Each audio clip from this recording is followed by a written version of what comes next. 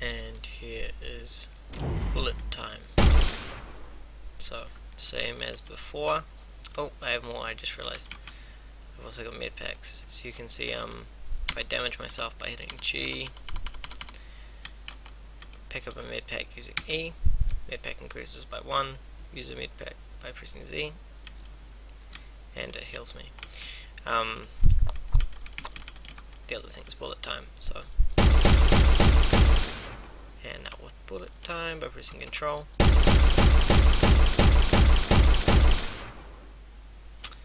Look at those bullets go. Um, so bullet time gets into red and then turns off and heals back up. And the idea is um, when you're in red you can't turn it back on again. So no matter how much you press control you can't turn it back on again, turn again until you're in green again. Um, that's pretty much it. It regenerates faster than I'd probably should at the moment but that's um because otherwise it makes it hard to test. So there. Um, the code for it is here, so it's made up of um, oh, the medpack stuff as well. So to damage yourself, pressing G will remove your health by 5, picking up the nearest item calls pick up item, giving yourself medpacks for testing, uh, heal using medpacks, the, the math there is really simple, it's you know, it's never go above max health, blah blah blah, um, try and heal by 50 points.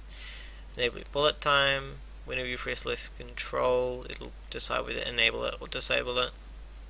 Um, and it'll make sure there's always more than 10 units of bullet time remaining. And each tick of bullet time it will decide to update or like increase. If you're not in bullet time it'll increase the amount of time you have remaining. Otherwise it'll decrease it different amounts. Um, it'll take you out of bullet mode if it goes down to not having enough. And all it is doing at the moment is calling time dilation. Um, but the intention is that you'll also add visual effects there, sound effects, that kind of thing